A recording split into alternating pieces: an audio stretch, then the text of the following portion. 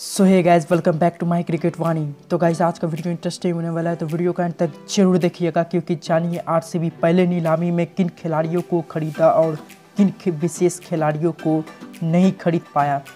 तो वीडियो के अंत तक ज़रूर देखिएगा। तो सो गाइस वीडियो स्टार्ट करने से पहले अभी तक वीडियो को लाइक नहीं किया तो अभी आरसीबी फ़ैन के साथ बनने के लिए इस वीडियो को लाइक करें और चैनल पर नहीं हो तो चैनल को सब्सक्राइब करके बेल आइकन को क्लिक ज़रूर करें और ऑल नोटिफिकेशन पर क्लिक करते ताकि आपको आरसीबी से रिलेटेड वीडियो मिलता रहे। तो चलिए वीडियो को स्टार्ट करते हैं। तो गाइस पहले नीलामी में आरसीबी ने आठ खिलाड़ियों को खरीदा है। तो चलिए जान लेते हैं कि कौन खिलाड़ी है। तो सबसे पहले आते हैं Aaron Finch Australian batsman Aaron Finch को चार करोड़ चालीस लाख में आरसीबी ने खरीदा है। तो गाइस कितना फ़ायदा होगा वो आप कमेंट सेक्शन में ज़रूर बताइएगा कि एरोन फिंच को खरीद कर क्या एरोन फिंच शानदार प्रदर्शन कर पाएँगे आरसीबी के लिए तो कमेंट सेक्शन में ये ज़रूर बताइएगा।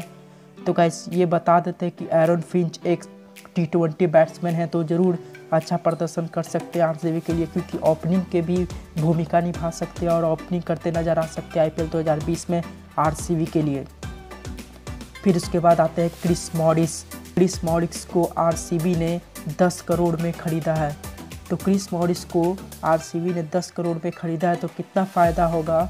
आरसीबी को ये तो आने वाले वक्त में ही पता चलेगा। लेकिन गाइस क्रिस मॉरिस एक शानदार ऑलराउंडर भूमिका भी निभा सकते हैं, क्योंकि एक शानदार बॉलर भी है, साथ में बैटिंग भी करते हैं लंबे लंबे शॉट भी लगाते हैं तो ऑलराउंडर की भूमिका क्रिस मॉरिस निभा सकते हैं आरसीबी के लिए। तो आरसीबी ने इनको 10 करोड़ में खरीदा है। फिर थर्ड नंबर पे आते हैं Australian batsman Joshua Philippe Joshua Philippe को आरसीबी ने 20 लाख में ख़रीदा है। और गाइज़ इनको आरसीबी क्यों ख़रीदा है? तो गाइज़ ये एक शानदार बैट्समैन है तो आरसीबी के मिडल ऑर्डर का कमान संभाल सकते हैं। और इनका टी ट्वेंटी रिकॉर्ड है, सत्रह मैच में तीन सौ बानवे रन। और इनका एवरेज है बैटिंग एवरेज पैंतीस पॉइंट छः का एवरेज है। फिर उसके बाद आते हैं चौथे पे ऑस्ट्रेलियन बॉलर केन रिचर्डसन जैसा कि आप लोग जानते हैं गाइस कि केन रिचर्डसन को आरसीबी ने चार करोड़ में ख़रीदा है। तो गाइस, इनको ख़रीदने का फ़ायदा यह हो सकता है कि आरसीबी का बॉलिंग सुधर सकता है और यह रेगुलर बॉलर हो सकते हैं आरसीबी के लिए। फिर उसके बाद आते हैं पाँचवें नंबर पे कर्नाटक के डोमेस्टिक प्लेयर पवन देश पांडे। पवन देश पांडे एक बार फिर चूस गए हैं आरसीबी के लिए। पहले भी खेल चुके आरसीबी के लिए, लेकिन उतना मौका नहीं मिला था। लेकिन इस बार शायद पांडे को मौका मिल सकता है। इनको आरसीबी ने 20 लाख में ख़रीदा है और इन्होंने टी ट्वेंटी बीस मैच खेले हैं और ताबड़तोड़ रन बनाए हैं। 426 रन बनाए हैं। इनका बैटिंग एवरेज है सैंतालीस पॉइंट तीन तीन का। उसके बाद आते हैं गाइस डेल स्टेन। दो करोड़ में आरसीबी ने डेल स्टेन को खरीदा है। सो गाइस फिर से आरसीबी के लिए खेलते नज़र आएँगे डेल स्टेन गाइस इस बार डेल स्टेन इंजरी इश्यू कुछ नहीं है तो आरसीबी के रेगुलर प्लेइंग इलेवन के हिस्सा बन सकते हैं। फिर उसके बाद सातवें नंबर पे आते हैं शहबाज अहमद।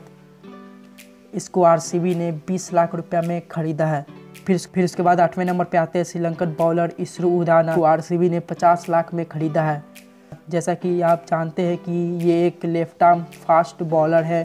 उसके बाद गाइस आरसीबी ने आपके पसंदीदा प्लेयर्स को नहीं खरीदा या नहीं खरीद पाया। चलिए जान लेते हैं किन विशेष खिलाड़ियों को आरसीबी ने नहीं खरीद पाया। तो सबसे पहले आते हैं जेसन रॉय तो गाइस जेसन रॉय को भी आरसीबी नहीं खरीद पाया और जेसन रॉय दिल्ली कैपिटल्स के हिस्सा बन गए हैं एक करोड़ पचास लाख में। So guys Jason Roy opening पे भूमिका निभा सकते थे आरसीबी के लिए, लेकिन ऐसा नहीं हो पाया और जेसन रॉय चल गए दिल्ली कैपिटल्स में।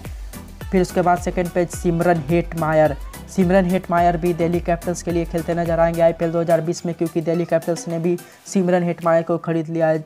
लेकिन गए जिस तरह से इंडिया के खिलाफ प्रदर्शन किए थे सिमरन हेट मायर तो लगता था कि आरसीबी सिमरन हेटमायर को फिर से अपने टीम में शामिल करेगा, लेकिन ऐसा नहीं हो पाया। फिर उसके बाद आते हैं guys robin Uthappa. Robin Uthappa भी आरसीबी में शामिल नहीं हो पाया है। राजस्थान रॉयल के लिए खेलते नज़र आएँगे आईपीएल 2020 में, क्योंकि राजस्थान रॉयल ने तीन करोड़ में रॉबिन उथप्पा को खरीद लिया। फिर उसके बाद आते हैं गाइस महत्वपूर्ण खिलाड़ी ग्लैन मैक्सवेल। ग्लैन मैक्सवेल को भी आरसीबी नहीं खरीद पाया। जैसा कि हम लोग जानते थे कि ग्लैन मैक्सवेल को ज़रूर आरसीबी खरीदेगा और मिडल ऑर्डर का भूमिका शानदार निभा सकते हैं ताबड़तोड़ निभा सकते थे ग्लैन मैक्सवेल, लेकिन ऐसा नहीं हो पाया।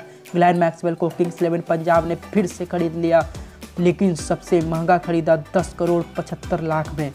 फिर का इस महत्वपूर्ण खिलाड़ी में आरसीबी के लिए सबसे पहले आते थे पैट कमिंस, जो कि ऐसा भी नहीं हो पाया, और पैट कमिंस को भी के के आर खरीद लिया और 15 करोड़ 50 लाख में पैट कमिंस को के के आर ने खरीदा।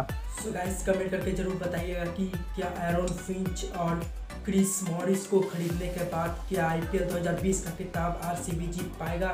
क्या इन दोनों खिलाड़ी को खरीदने के बाद क्या बैलेंस बन गया आरसीबी का? तो कमेंट सेक्शन में जल्दी जाकर बताइए। तो फ़िलहाल वीडियो में आज के लिए इतना ही। फिर मिलते अगले वीडियो में।